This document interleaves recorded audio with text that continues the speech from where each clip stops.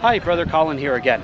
As you saw last night with Brother Roger's video, we have arrived in DC and we are now here at the Basilica as we are awaiting our entrance into the Papal Mass with Pope Francis. I'm here with John Ahern, who is a friar from Holy Name Province, who is cu currently doing his pastoral year at St. Anthony's in Boston.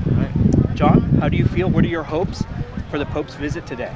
Um, well, I have to say my hopes are already fulfilled. I think there are two great things about this visit. One, I'm thrilled to have you and Roger here, and I think it's a great moment for us to kind of celebrate our Franciscan identity as we're here for the canonization of Junipero Serra. I think it's a great day for our brotherhood, for uh, interprovincial collaboration. That's really exciting.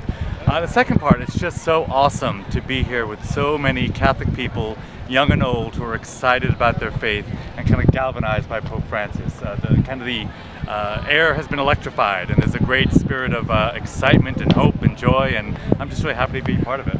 Great. All right, wonderful. So as we have arrived, we now have this line to wait in and then we have other lines to wait in. So once we get in, we will let you know what's going on. We'll see you later.